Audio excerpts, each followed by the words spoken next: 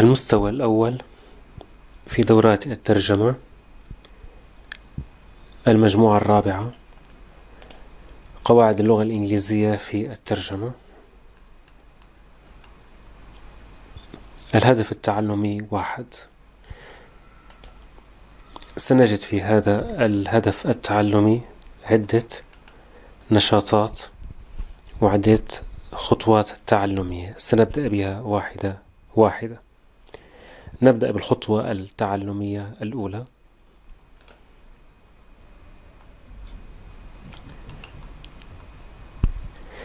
تهدف هذه الخطوة التعلمية إلى الانتباه إلى قاعدة أساسية في الترجمة من العربية للإنجليزية مع مراعاة قواعد اللغة الإنجليزية. من خلال أخطاء كثير من المتدربين وجدنا أنهم يخطئون في الفاعل والفعل.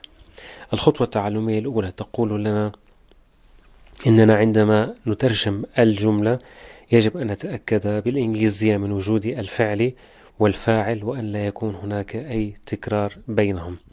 القاعدة تقول لنا يعني إذا تأكد من وجود الفاعل تأكد من وجود الفعل تأكد من عدم وجود تكرار بينهما تأكد أيضا من عدم وجود نقص في أي واحد منهما. يعني جملة بدون فاعل أو جملة بدون فعل لا يجوز.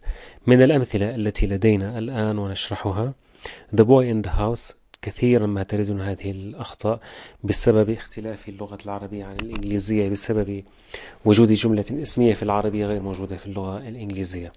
فالولد في البيت نجد من يترجمها بالعربية إلى الإنجليزية the boy in the house بدون الفعل.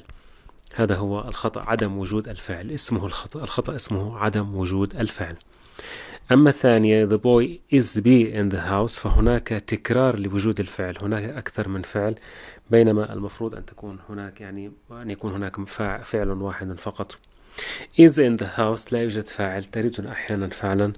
جملة لا يوجد فيها فاعل.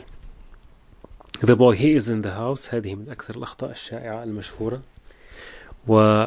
ويجب أن تقول إما he is in the house أو the boy is in the house لكن لا يجوز الاثنين يعني الاثنان معا لا يجوز الحديقة جميلة The garden beautiful, the garden is be beautiful, this the is beautiful and the garden it is beautiful.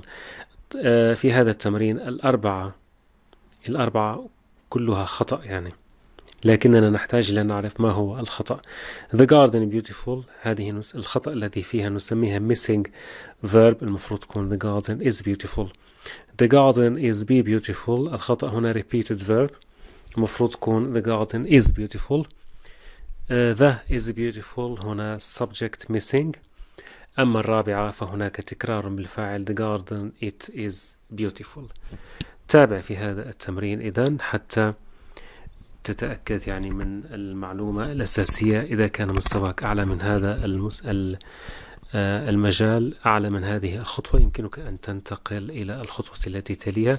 لكن من الضروري جدا أن تراجع هذا التمرين كاملا وتحاول أن تحله لتتأكد من عدم وجود إشكالية لديك.